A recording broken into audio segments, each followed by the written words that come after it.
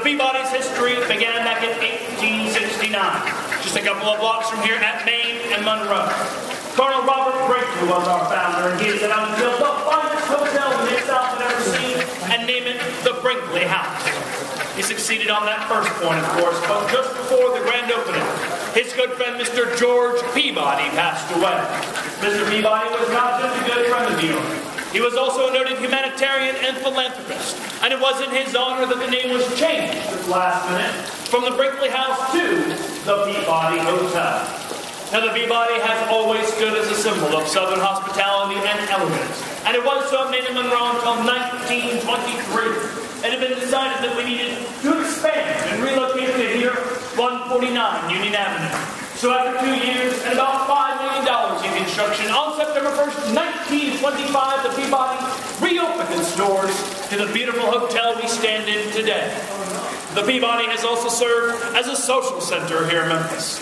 We have played host to countless weddings, proms, parties, and celebrations. Many of those, of course, hosted on the beautiful Peabody rooftop, where we have a gorgeous view of downtown Memphis and the Mississippi River, as well as the Royal Duck Palace, the lavish livings of our fine feathered friends. If you would like to visit the rooftop or the Duck Palace, ladies and gentlemen, I welcome you to. After 6 o'clock, hop into the elevators and hit S for Skyway, then take a right out the double doors. On the way back down, or while we're waiting for the rooftop to reopen at 6, I encourage us to visit our memorabilia room. It's up here on the mezzanine, just above the gift shop, and there we have artifacts and stories unique to the Peabody's history. We have portraits of presidents and stars who have graced our halls. We have played host, in fact, to every president since Harry Truman here at the hotel. We have a piece of Elvis Presley's first RCA contract, which was negotiated, typed, and signed here in this very lobby. But of course, we have my favorite artifact, a memo written to our general manager regarding the menu over at Chez Philippe, explaining to him that we can have absolutely no duck served on any menu here at the hotel.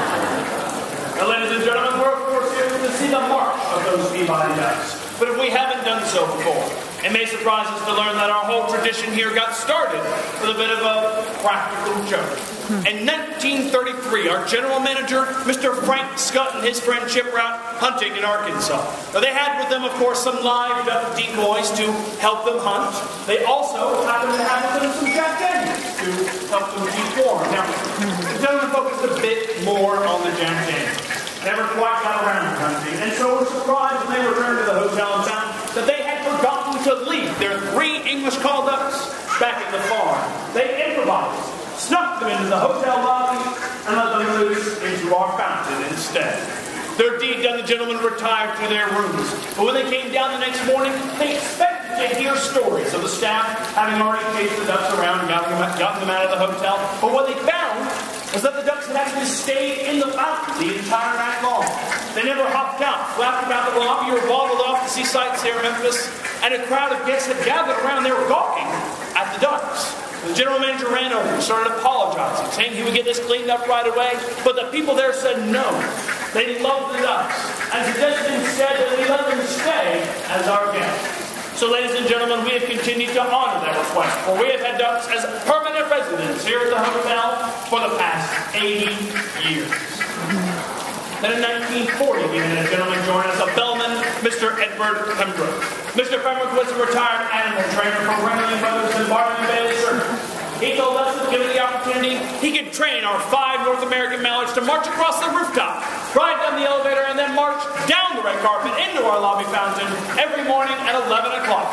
There they would stay until 5 p.m. when he would usher them out of the fountain, march them back up the red carpet, up the elevators, and back to their rooms. And Mr. Pembroke proposed this to management. They were skeptical, of course, but they told him that if he could figure that out, they let him march ducks for as long as he'd like.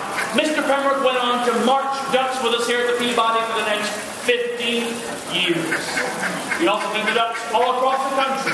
They were on the Tonight Show with Johnny Carson.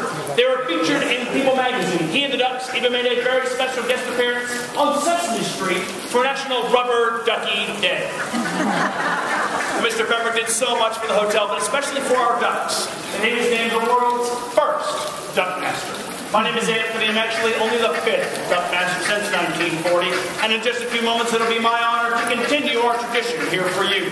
But first, on rare occasions, I have the honor and privilege of sharing the duties of Duckmaster. Today is one of those days, ladies and gentlemen, please welcome my honorary Duckmaster, Miss Mary Lou Haswell. Come on up. Well, ladies and gentlemen, I want us all to know what it means to be nominated as honorary Here at the hotel. is an official station. It has official duties, and as such, it has an official proclamation. Whereas, the daily march of the world-famous Peabody Ducks is a time-honored tradition, begun in 1933 and attended by countless visitors.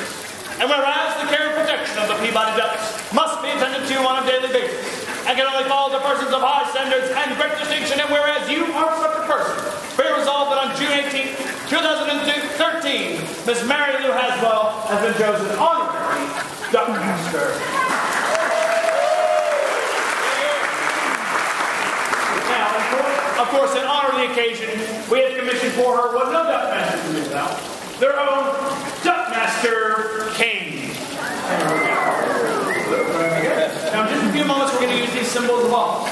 We're going to the ducks out of the top, and we're going to march them back up the red carpet, up the elevators, and to their rooms. And we do ask that if we are here by the red carpet then, and the entrance to the elevator, that we keep those areas clear. And please also resist the urge to reach out and pet the ducks. They are wild animals visiting with us after all. Please do our best to remain seated here in the lobby, but finally, and most importantly, ladies and gentlemen, please flash photos as you like. You are all guests with us here tonight at the Peabody, and this march is for you. On behalf of the ladies and gentlemen and ducks here at the hotel, we thank you for joining us. Have a wonderful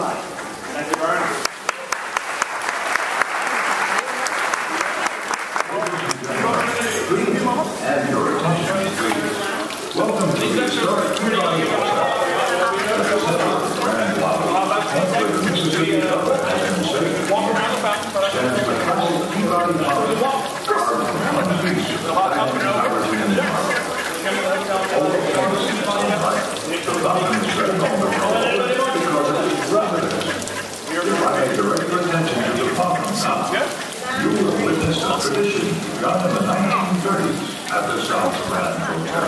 An experience you can yours as a guest of the people. All right, Dex, you ready? Preparing to return to their penthouse and plantation building for the night. Ladies and gentlemen, the march of the world-famous Peabody Ducks